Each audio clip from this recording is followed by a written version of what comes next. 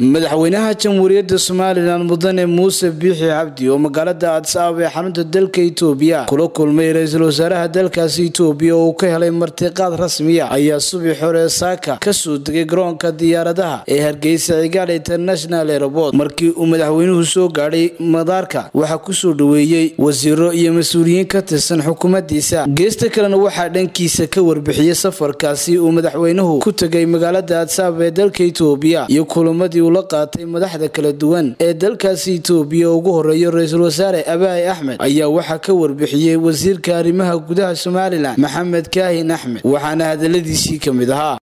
Sida aynu la wada soconnay halkan aanu idinkaga tagnay maalintii arbacadii wafdi uu hogaaminayo madaxweynaha jamhuuriyadda somalilan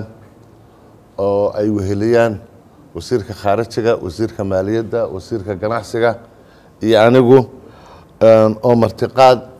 rasmi ah madaxweynaha jamhuuriyadda somalilan uu u soo fidiyey ra'iisul wasaaraha dowladda federaalka ee etoobiya abaya axmed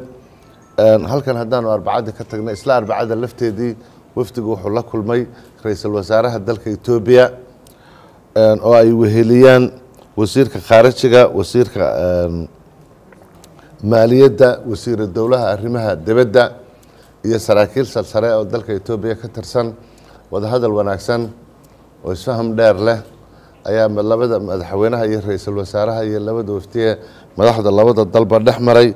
Waxaan ka wada hadalay sii xoojinta iyo adkeynta xidhiirhka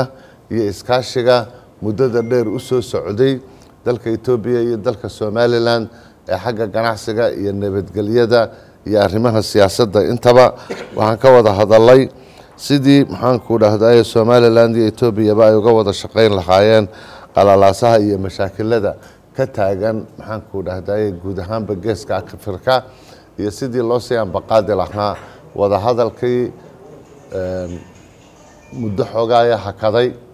in doorana socday isaragyada doorana maxaanku dhahdaye laga galay soomaaliya iyo somalilan arrimahana si wanaagsan baanu isula lafakurnay si wanaagsanna waa la isula fahmay wadahadalada iyadina inahaasay ku koobnaayeen shirar kale oo googoosyo ah oo dalka gudihiisa iyo dad mas'uuliyiin oo kalena wafdigu way sarkeen madaxweynaha iyo wasiirada labadaba. Saasaanu ugu soo nabad qab noqonnay kulan wanaagsan oo si fiican loo soo dhoweeyey madaxweynaha iyo wafdigiisa. Brotocool sare oo ilaa iyo calanka somalilan iyo calanka etoobiya isberber yaaleen brotocool meeqaam sare leh oo aad iyo aad u wanaagsan baa maxaanku dhahday nala mariyey aad iyo aad baan ugu mahadnaqaynaa ra'iisul wasaaraha dowladda etoobiya iyo golihiisa dowladda ee muddadii aanu joognay. Sida aad iyo aad fiicanna noo soo dhoweeyey maamuuska aad iyo u sarreeyana na mariyey aad iyo aad baa u mahadsan xamse jaamac xuseen xamse awowo star t v. Hargeysa